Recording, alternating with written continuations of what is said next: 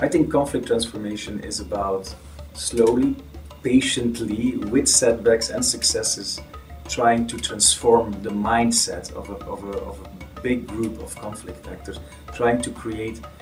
a critical mass within communities, within conflicting communities, that are convinced of the fact that that peace or, or, or non-violence is more interesting for their futures, is more contributing to their well-being than sticking to the radical ideas of conflict and the, and the winner takes it all uh, mentality. I think if we can very slowly create that critical mass or form that critical mass to think differently about their situation and think towards a constructive future, I think then we have transformed the conflict. Conflict transformation can, can really be about two people, two leaders of,